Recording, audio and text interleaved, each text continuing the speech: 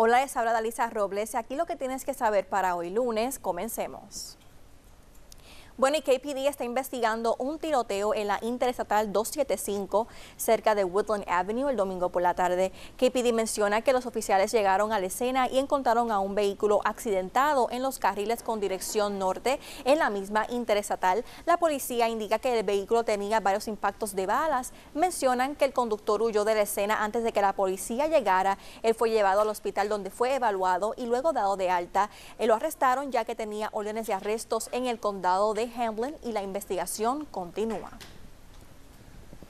Bueno, y también está investigando luego de que el cuerpo de una mujer fuera hallado en el río Tennessee.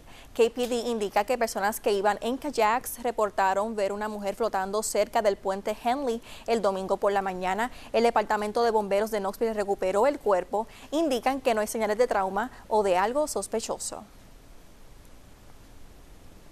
Y atención si tienes una freidora de aire, varias fueron retiradas luego de reportes de que se incendiaron. Las marcas involucradas son las freidoras de aire insignia digital y análogas. También incluye las freidoras de aire digital con modo de horno. Si compartes una en Best Buy entre noviembre del 2018 y febrero del 2022, puedes obtener un crédito en la tienda como método de reembolso.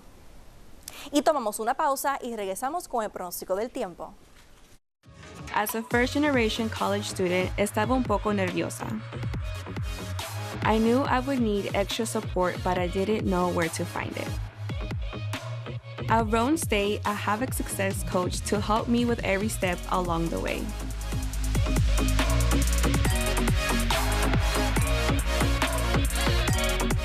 Para más información, visita la página roanstate.edu.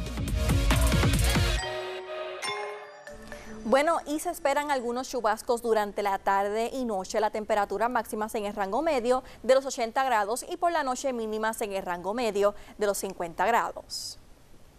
Bueno, y para más acceda a wbir.com y únase a nuestro grupo de Facebook Noticias WBIR. Como siempre les habló Dalisa Robles. Hasta la próxima.